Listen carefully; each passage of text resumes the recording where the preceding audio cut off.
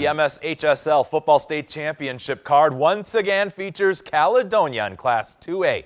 News 8's Charlie Clifford takes a closer look at what the Warriors are up to before Friday afternoon's big game.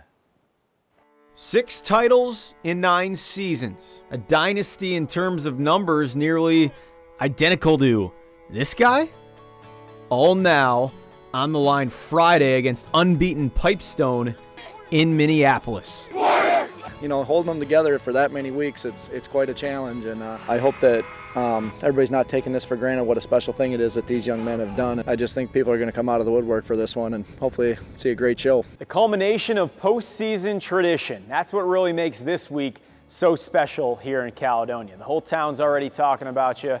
You're rocking your crazy blonde mohawk, and the night before the game, you get this a helmet filled with your entire team's thoughts on why winning the big one is so important. All, of course, with the hope of putting your teams in the trophy case alongside your cousins, brothers, or maybe previous idols that already sits there in history in Caledonia. Names like Gorgon and Schmitz return for another chapter at state. Well, my brother was, I guess, as everyone called it, the pain train. Ever since I saw that, I just wanted to live up to his dreams and hit kids like he did. After watching all the alumni and all my Bauer cousins and my brother go through and get state championships, it just makes me want to get one that much more. As the alumni support pours in this week from across the country, so too does this message from the Friday night turns Sunday afternoon Caledonia Warrior. I'm ecstatic for them. Hope they can do well and just just play a good game and, and really have fun and,